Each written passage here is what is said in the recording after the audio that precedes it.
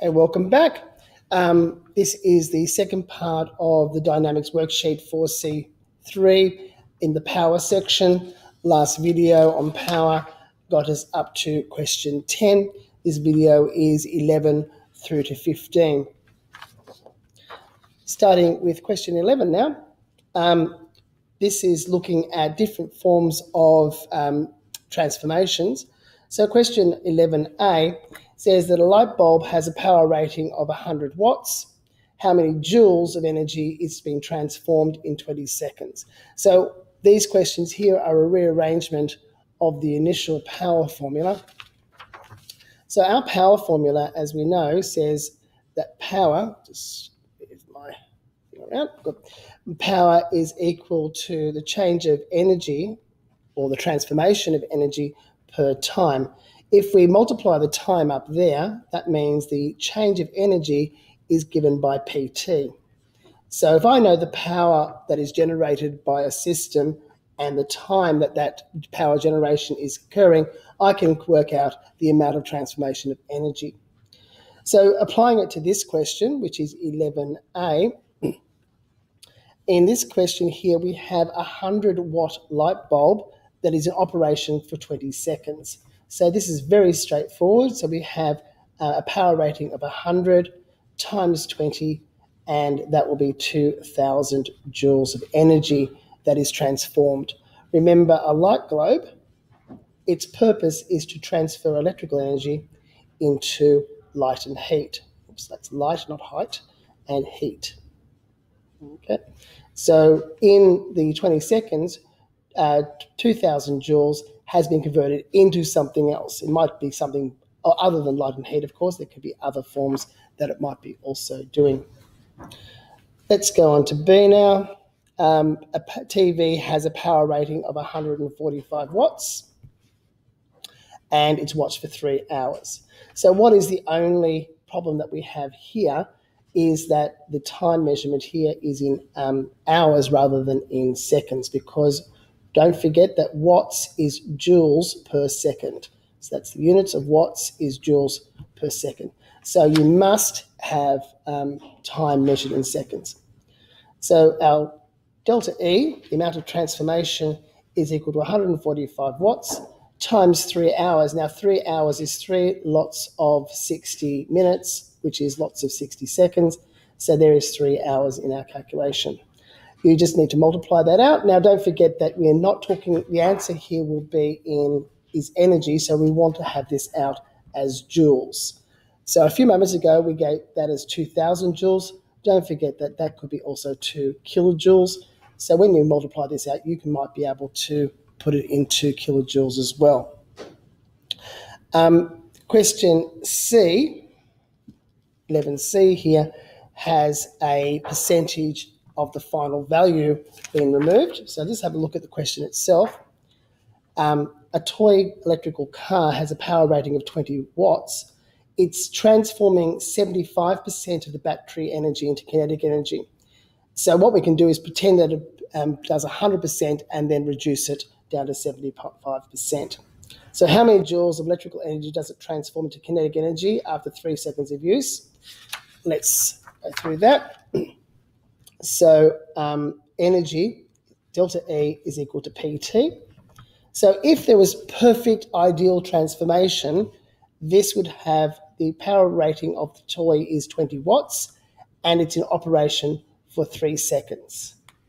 So let's work out if all of this power is transferred into kinetic energy, what would it be done? So there'll be 20 times 3, which is 60 joules. Now, that 60 joules, however, is not entirely kinetic energy. 75% is kinetic energy. The other 25% will be other forms of energy, which could be um, heat, etc. Okay, so only six, um, 75% of this is kinetic energy. So 75% of 60, so 0.75 times 60 is 45 joules. Okay, I'm going to kill that fly. Right here, moving on to question 12. How long does a motor, here's the question in front of you, so you can do it. How long does a motor with a power rating of 1,500 watts need to operate to transform 6,000? So basically, we, we'd be doing the, um, this formula, and this time we're trying to solve for T. So if we're solving for T, um, if P equals delta E on T, then making T the subject, T would be delta E on P. So applying that to our question, we know that the motor has a power rating of 1,500 watts and the amount of energy is 6,000 joules. So this is delta E and this is the power rating there. So that's 6,000 on 1,500. Okay, by the way, I just got the flow. And that's 16 divided by 15, which is 4 seconds. Okay. Right, moving on to question 13.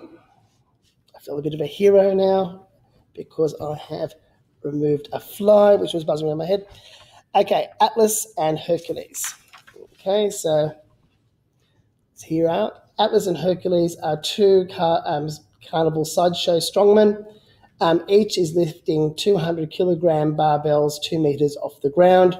Atlas does it in one second, and Her- Hercules does it in three seconds. Um, which does more work and which is more powerful? So here we're just talking about work and power and what's the difference between them.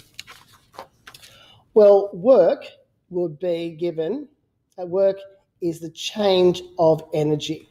Okay, so it's delta K, it's also delta U, it's also force times displacement. So those are the ways I can work out how much work is being done. And in this case, um, it's going to be delta U because we're going to be um, lifting this against gravity. So to work out Atlas and um, and Hercules' um, amount of work, then delta U would equal mg delta H. The amount of uh, that they're lifting in both cases is 200 kilograms.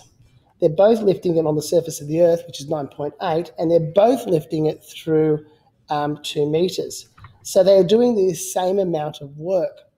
So they are doing, in both cases, 200, oops, put that down, 200 times 9.8 times 2. So that's 3920 joules of work. So it doesn't matter which of the two is um, lifting, they're both doing the same amount of work. However, one is doing it much faster than the other. They have a different rate.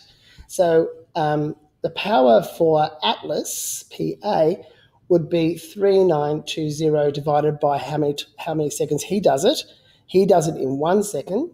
So that's 3920 joules, uh, sorry, not joules, watts. And Hercules, PH, is 3920, but he's doing it in three seconds. So dividing this value by three, he's got 1306.7 watts. So um, who's more powerful? The one with the higher power rating would be Atlas. Okay. Going to question 13 now.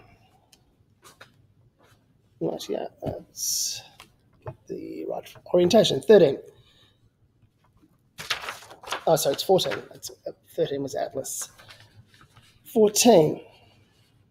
After finishing her um, physics homework, Samantha pulls her um, 50 kilogram body out of the living room chair and climbs up the five uh, meter flight of stairs to her bedroom, and she does that in four seconds. Um, let's work out her work and her power. I will just um, describe how to do this. So, Samantha, her work will be delta U and it will be mg delta H. So, this is the flight of stairs, which is um, five meters even though her the flight of stairs may be longer than five meters, so all this, this is the flight of stairs going up here, its gravity only works in the vertical, and we only care about the vertical displacement. We don't care about how far or how long her flight of stairs were was. Okay. Once you've calculated that, you can work out um, Sam's power um, because it's just delta U over the time taken, and that in her case is four seconds. Okay. Moving finally to Peter, and he's pushing with a force. This one here, we have um, a force moving through displacement. So this is going to be using our work as Fs. Okay. The only problem with um, using uh, W's and whatever is that we often um, mix this up between work and watts. So just be very careful in this formula here. This W here is work, and at the end of this one, at the end we can use it as a unit, and that is watts. So just be careful it between those two. So work is Fs. So Peter is pushing a six kilogram mass with a force of 40 through a displacement of 15. Okay, so even though we have a six kilograms um, mentioned in the um, question, it's not needed. So working out the amount of work is 40 times 15, so it's 600 joules. And finally, to work out his power, Peter's power would be um, the amount of energy, delta E, divided by time. And in this case, the time happens, this happens in sec, um, 20 seconds. So that's 600 divided by 20, and that will be 30 watts. Okay, I hope you were successful.